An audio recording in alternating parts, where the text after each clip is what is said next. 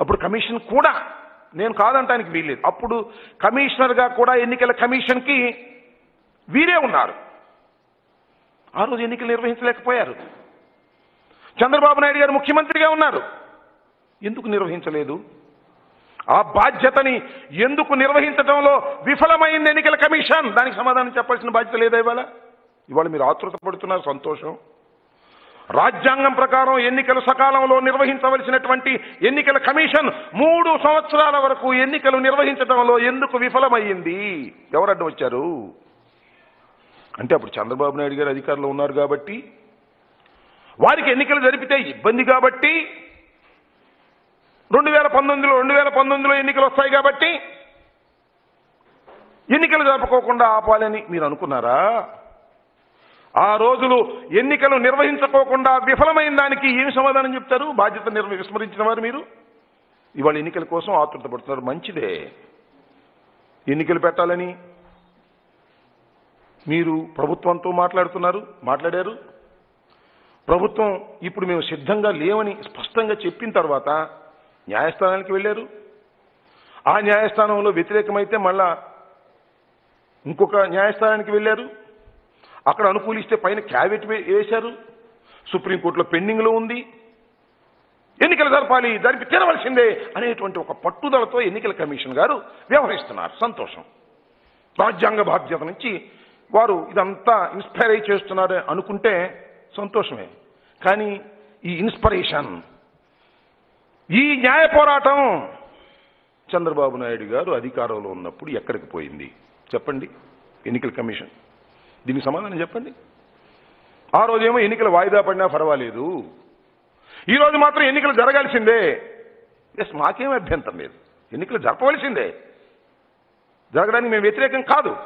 కానీ ఈ రాష్ట్ర ప్రభుత్వం ఇప్పుడు ఎన్నికలు నిర్వహించటం సమంజసం కాదని భావిస్తున్నది.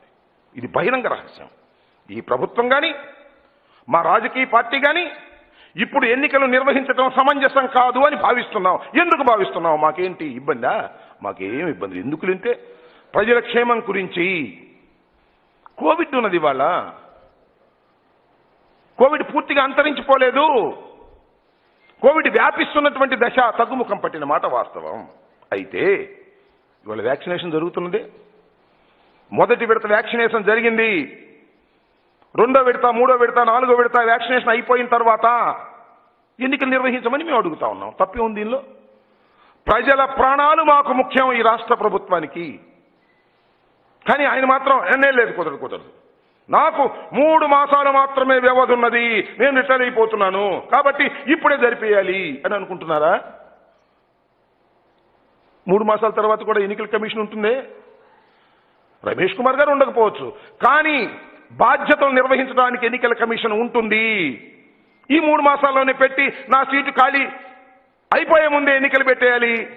పెట్టేసి చంద్రబాబు నాయుడు గారికి వ్యతిరేకంగా ఉన్న ఏఎస్ ఆఫీసర్లను చంద్రబాబు నాయుడు గారికి అనుకూలంగా లేనటువంటి ఐఏఎస్ ఆఫీసర్లను ఐపీఎస్ ఆఫీసర్లను ఎస్పీ దగ్గర నుంచి కానిస్టేబుల్ వరకు కక్ష తీర్చుకోవాలి అనేటువంటి ధోరణే రమేష్ కుమార్లో కనిపిస్తున్నది తప్ప ఒక విధి. ఎన్నికలు నిర్వహించడం ఒక విధి అనే భావన కనిపించడంలా. ఒక అధికారం అహంకారం. నేను ఎన్నికలు పెడతాను ఎవడడ్డు వస్తారో చూస్తాను. నేను కలెక్టర్ని ట్రాన్స్ఫర్ చేసేస్తాను ఎవరొస్తారో చూస్తారు. ఎన్నికలు ప్రకటిస్తే తప్ప నాకు అధికారం చేతిలోకి రాదు. అధికారం చేతిలోకి తీసుకుంటాను. ఎస్పీని కానిస్టేబుల్ని బెదిరిస్తాను. అనేటువంటి ధోరణి సమంజసమేనా? ఈ భారత ప్రజాస్వామ్యంలో విధి నిర్వహించండి. తుపాకిస్తారండి పోలీసు వారికి. ఎస్ఐకి తుపాకీ ఇస్తారు. అది విధిలో భాగం. నేను కాలుస్తాను కాలుస్తాను. నాకు ఇష్టం వచ్చినప్పుడు కాలుస్తానంటే విధి నిర్వహణలో భాగంగా దాన్ని కాల్చొచ్చు. కానీ ఎప్పుడు పడితే అప్పుడు కాలుస్తాను ఎవరి మీద పడితే వాడి మీద కాలుస్తానంటే సమంజసం కాదు. ఈ వీడియో గనుక మీకు నచ్చినట్లయితే లైక్ చేయండి షేర్ చేయండి. మరిన్ని వీడియోస్ కోసం మా ఛానల్ను సబ్స్క్రైబ్ చేయండి.